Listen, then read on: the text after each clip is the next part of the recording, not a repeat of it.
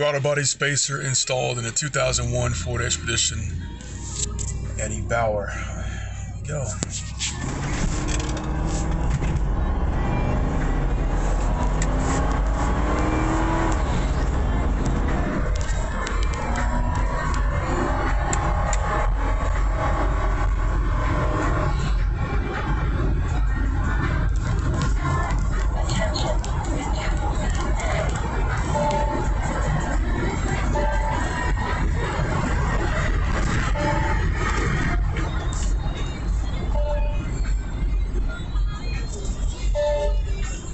Seems a little more pickup on the top end.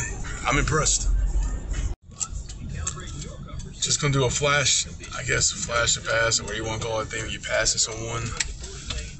Um, also, the air conditioning's always on. I never turned it off. So that includes the rear air conditioning and the front automatic air conditioning too. All right, here's a kick down.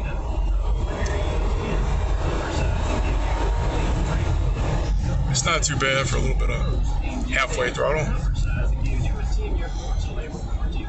And I'm doing another one at about 50.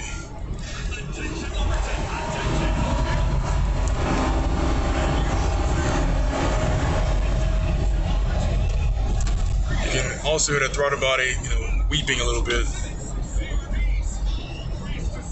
And last one.